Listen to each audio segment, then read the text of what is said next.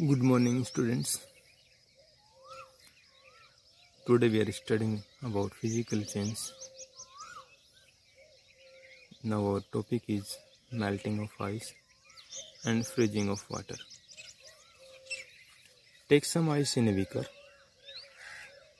एक बीकर में थोड़ा आइस लीजिए and keep it aside for some time इसको कुछ समय के लिए रख दीजिए वी विल सी हम देखेंगे that ice melt to form water कि बर्फ़ पिघलती है वाटर बनता है। Actually the ice kept in beaker receive heat from surrounding air to melt and form water वास्तव में बीकर में रखी आइस सराउंडिंग से हीट प्राप्त करती है। यानी आप अपने आसपास से, अपने चारों ओर से हीट प्राप्त करती है। मेल्ट होती है और वाटर का फॉर्मेशन करती है। तो ice and water look different यद्यपि वाटर और आइस दोनों अलग अलग दिखते हैं they are both made of water molecules दोनों में ही वाटर मोलिक्यूल्स हैं, यानी दोनों ही वाटर मोलिक्यूल्स से बने हैं। This means that no new substance is formed during the melting of ice इसका मतलब ये हुआ कि आइस का मेल्ट आइस के मेल्टिंग में जो वाटर बन रहा है तो कोई नया सब्सटेंस बना ही नहीं। Only a change of state from solid to liquid take place during the melting of ice केवल स्टेट चेंज हुई है जब आइस से वाटर मेल्टिंग के द्वारा बना है। So the melting of ice to form water is a physical change इस प्रकार से बर्फ़ का पिघलना एक फ़िज़िकल चेंज है। The change which occur during the melting of ice to form water can be reversed easily by freezing the water to form ice again. जो परिवर्तन हुआ है आइस के पिघलने से जो वाटर बना है, उसको हम रिवर्स कर सकते हैं, यानी उसको उसको वापस किया जा सकता है। कैसे? हम उस वाटर को फिर दोबारा से फ्रीज करके आइस बना सकते हैं।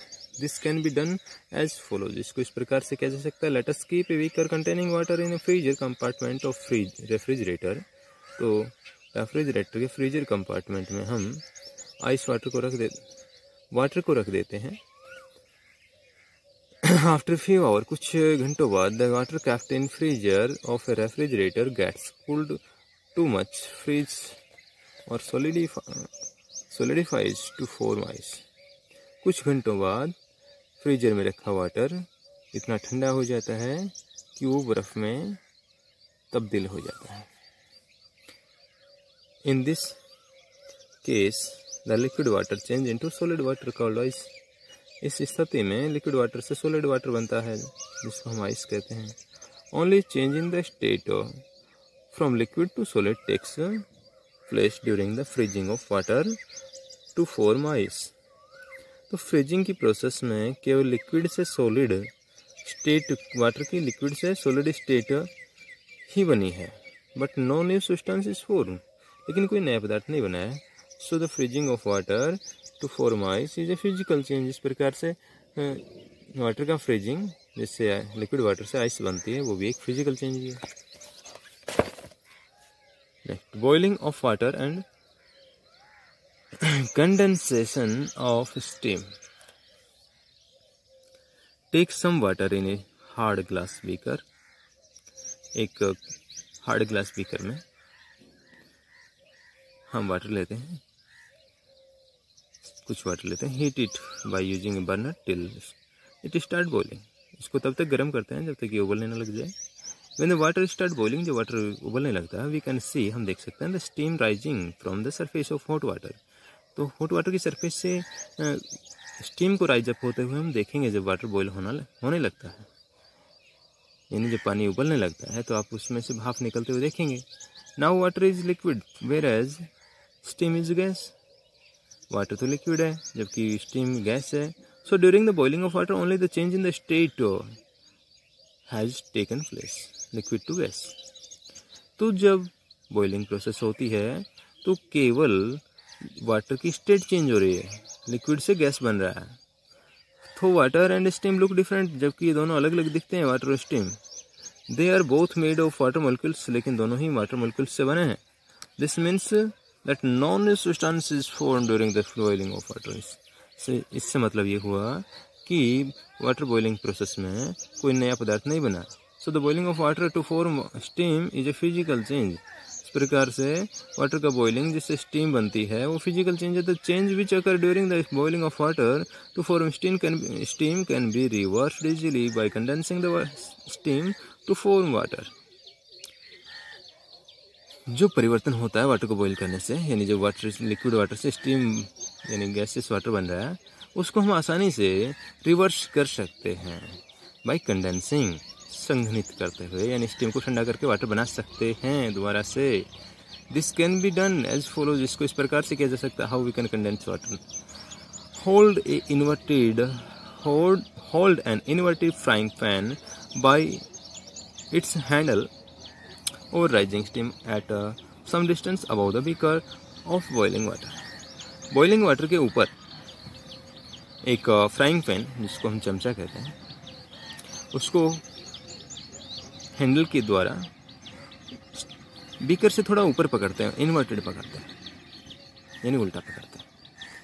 If we look at the inner surface of frying pan यदि हम फ्राइंग पैन की इनर सरफेस को देखते हैं, यानी आंतरिक सतह को देखते हैं फ्राइंग पैन का मतलब चमचा होता है। We will see drop of water sticking to it हम देखेंगे कि वाटर ड्रॉप्स इस पर चिपकी हुई है। Actually when hot rising steam comes in contact with the inverted frying pan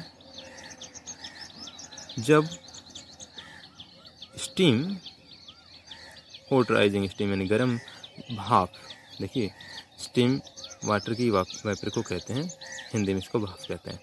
तो गर्म भाप जब संपर्क में आती है इन्वर्टेड फ़ैन की इन्वर्टेड फ्राइंग पैन की सरफेस से then some of the steam gets cold तो कुछ स्टीम ठंडा हो जाती है।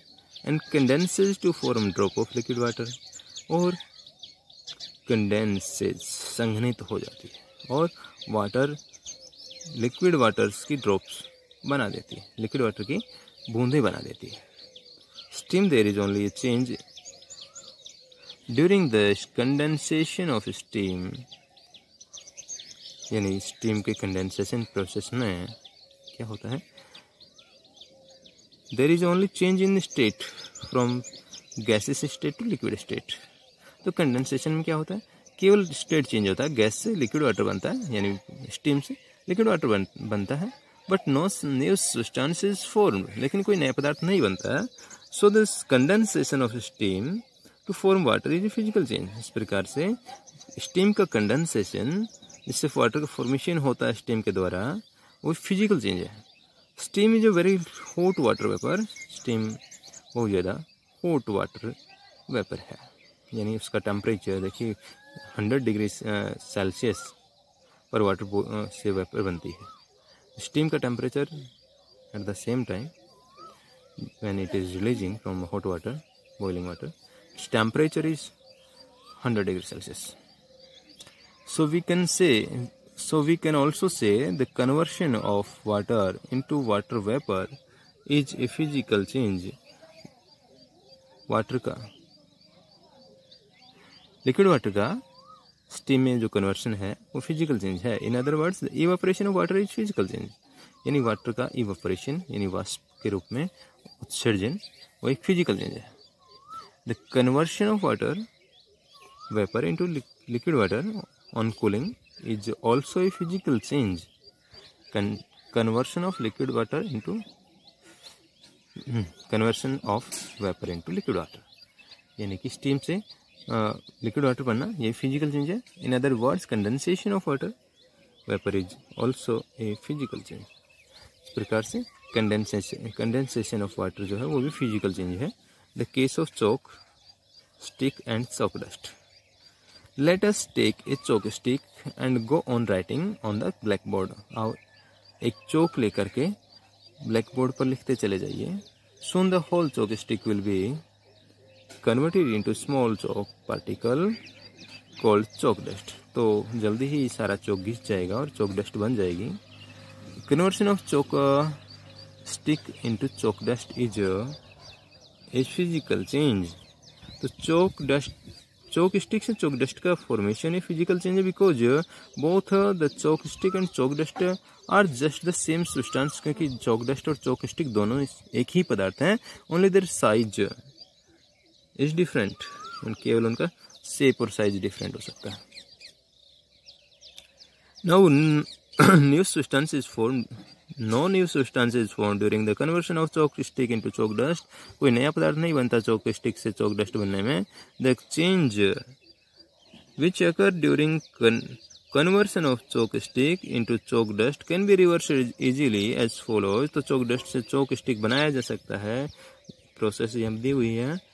We take the chalk dust chalk powder, add little water to it, make a thick paste of chalk dust.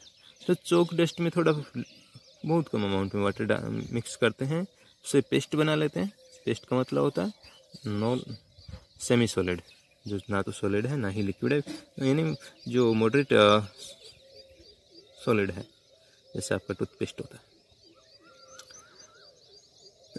Thick paste of chalk dust can be moulded into a chalk stick then dried तो thick paste यानी गाढ़ा paste हमने बनाया है, उसमें कम मात्रा में water है। उस चौक डस्ट का जो थिक पेस्ट बनाया है, उसको मोल्ड किया जा सकता है, उसको रूप दिया जा सकता है, इसका चौक स्टिक का एंड देन ड्राइड फिर उसको सुखा लिया जाता है। In this in this way we can get back the original chalk stick from the chalk dust इस प्रकार से हम चौक डस्ट से चौक स्टिक प्राप्त कर सकते हैं। Thus the physical change from chalk stick to chalk dust is Thus, the physical change from chalk stick to chalk dust is a temporary change. तो ये एक अस्थाई चेंज है जो चौक स्टिक है चौक डस्ट बना है। अस्थाई है टेम्परेरी है। It can also be reverse by conversing converting chalk dust into chalk stick यानी इसको आसानी से वापस रिवर्स किया जा सकता है। चौक डस्ट से हम चौक स्टिक बना सकते हैं। Okay it is enough to today